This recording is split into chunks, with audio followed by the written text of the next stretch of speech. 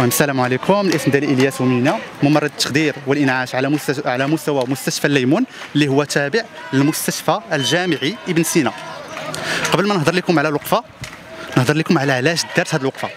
هاد دارت دارت هذه الوقفة حيت كاينة واحد المعاناة ديال ممرضي التخدير والإنعاش على مستوى مستشفى الليمون.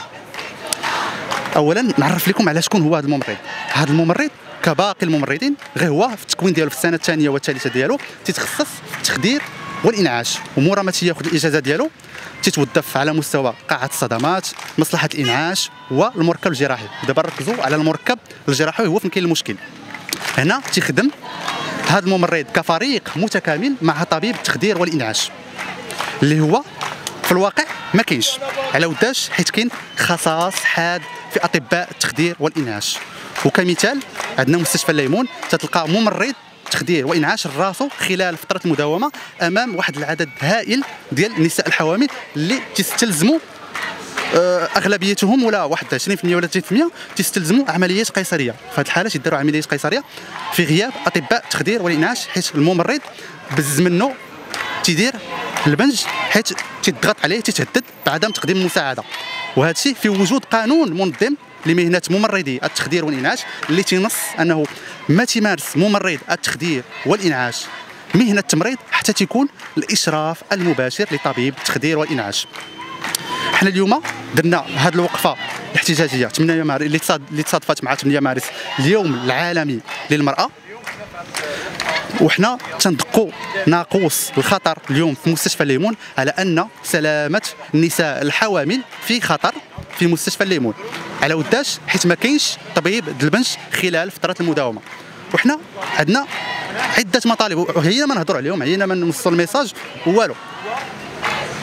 ما تيجاوبوناش تقول لهم عندنا ما نديروا لكم حنا أول مطلب عندنا هو أنه تكون وفر واحد السلامة لهاد النساء الحوامل. يعني ما تجي المرأة تجي تبنج بنج موضعي ماشي بنج كلي. حيت البنج الكلي تدار في غياب طبيب التخدير والإنعاش. وفي حالات جد آه، خاصة.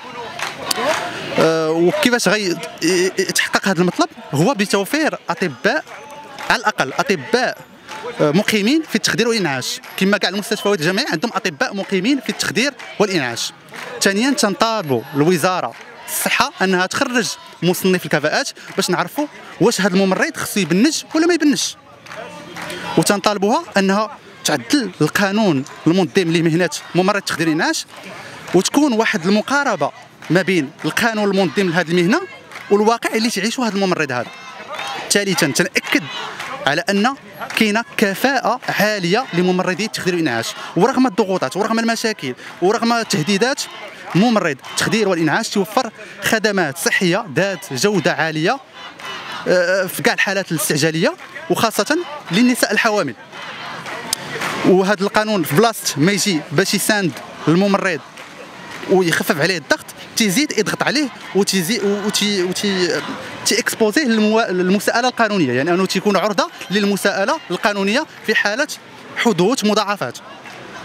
واليوم أنا جيت تنهضر بحرقة ماشي كممرض في التخدير والانعاش ولكن كمواطن كواحد من ساكنة الرباط أنه ما نبغيش أنا مراتي حاملة ويكون عندها الفتيح ونديها للمستشفى عمومي وتبنج تخدير كلي اللي هو تشكل أكثر خطورة على المرأة الحاملة مقارنة مع التخدير الموضعي هو اللي هو البنج النص علاش؟ حيت ما كاينش طبيب البنج